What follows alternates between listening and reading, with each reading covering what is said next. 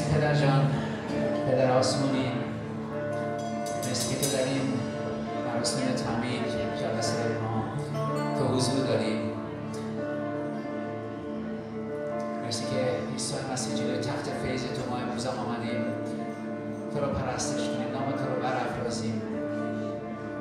دلیل آمدن ما تو هستی. کاری که عظیمی که کردی در زندگی ما در این دنیا خداوند و خوش آمد به تو میگیم روح که می‌خوایم این کنترل این جلسه رو هر چیزی که الان هست انجام میشه به دستای تو بسپاریم. و تو هستی که باید اونجا حرکت کنی.